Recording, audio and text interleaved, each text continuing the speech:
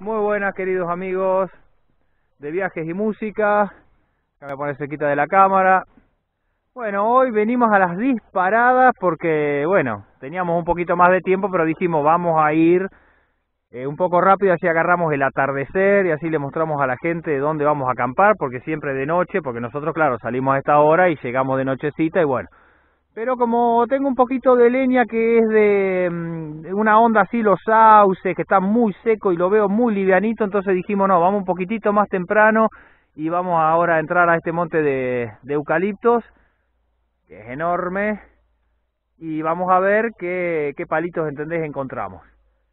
Este donde estamos, ese es un camping que se encuentra en Villa Cacique, Villa Cacique es partido de Benito Juárez, está a 70 kilómetros de Tandil, que eso es partido de Tandil, pero bueno, eh, estamos entre 70 kilómetros de Tandil y 50 kilómetros de, Benito Juárez. Es toda una zona de, de, sierras, son las sierras más antiguas del mundo. En Google Maps pueden encontrar fotos eh, que he subido yo también de este, de este predio con una mejor cámara.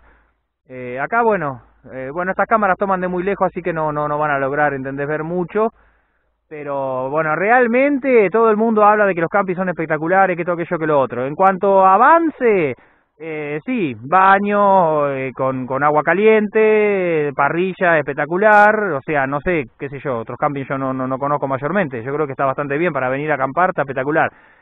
Lo que sí tiene es eh, las bellezas naturales, bueno, una locura. Son 26 hectáreas, tenés un bosque de pino con una loma, tenés un arroyo, tenés un lago, avistaje de nutria, bueno, a la noche, eh, bárbaro, eh, patos en verano con todas sus crías, porque bueno, obviamente, no te atrevas a, a cazar uno porque salís con una zapatilla atrás, ¿viste?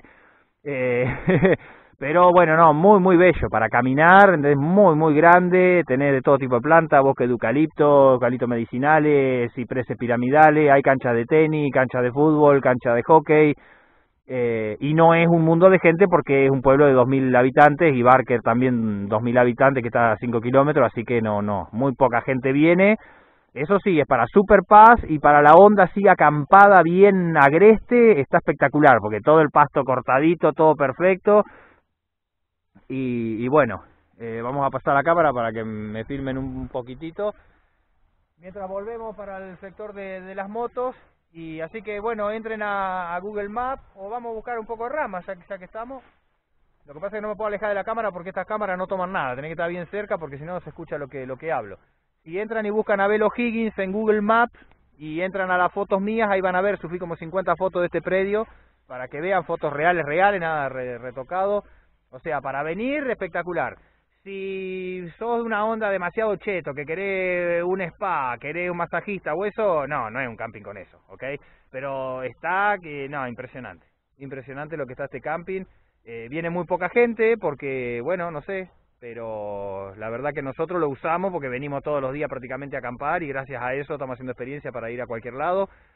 Así que si quieren venir, privacidad, no te molesta nadie, tenés tanto lugar que te armas acá y si se te arma uno al lado de la carpa te vas al otro lado y si querés estar solo.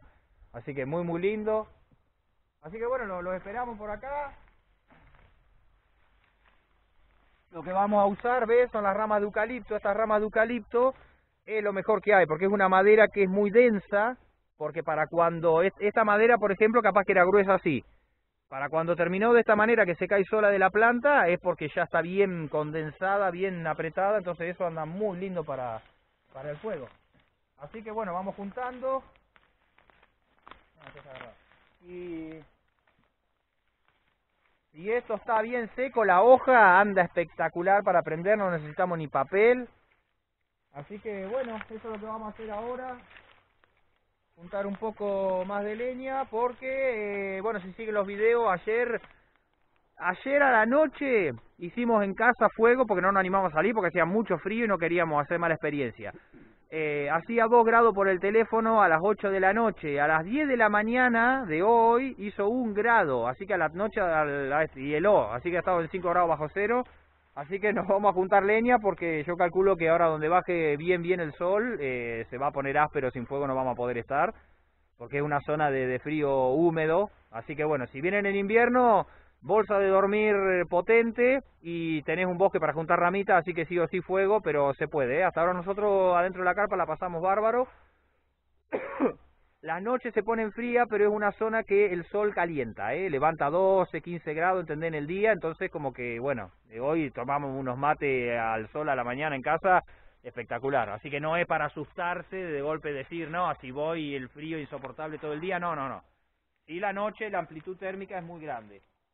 Así que bueno, gente, los dejo en un rato cuando tengamos en la carpa ya todo listo, hacemos otro videito. Nos estamos viendo, voy a seguir juntando leña porque si no voy a tener que juntar con la linterna.